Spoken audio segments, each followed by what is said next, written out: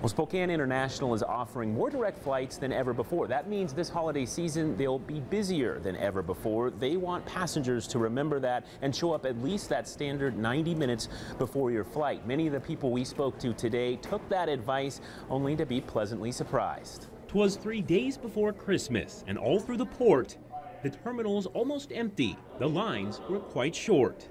But though things were slow, the travelers are still here, excited for family and holiday cheer.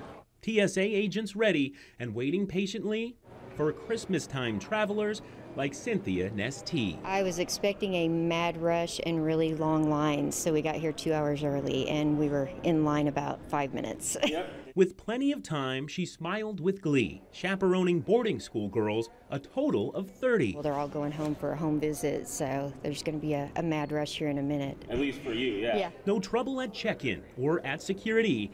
Cynthia says that's why she loves GEG. Usually in and out really easy, especially if you're you're coming in grabbing a rental car. It's pretty easy. It's the best airport. There were still busy times despite what she says.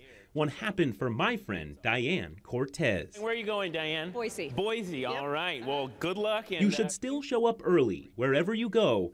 Just ask Old St. Nick He's in the know. Get to the airport early, at least two hours early, if not sooner, to get through security and relax and not have to worry about the stress of making the flight or not. Good advice from Santa, but I had one last request.